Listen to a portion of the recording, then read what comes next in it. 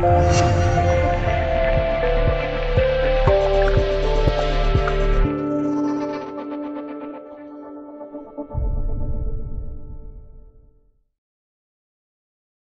月十一日，据意大利体育媒体报道，现在效力于意甲球队那不勒斯的哈姆西克或许将会在今年年底离队，而他的目标就是中国球队山东鲁能。本赛季，哈姆西克在安切洛蒂手底下，并没有得到太多的出场机会，这样的境界也使得球员本人哈姆西克非常的失望，所以目前他已经向俱乐部提出了离开的交易申请。据报道。安切洛蒂已经同意哈姆西克的离队申请。当然，那不勒斯希望能够在哈姆西克的身上得到一份高达两千万欧元的转会费用。这样的转会费用对于中超球队来说完全的不是问题。而且在今年年初来，山东鲁能就曾经差点签下哈姆西克，只不过当时那不勒斯开出的高达三千万欧元的转会费用，使得山东鲁能放弃了这笔交易。现在来看，山东鲁能如今的机会来了，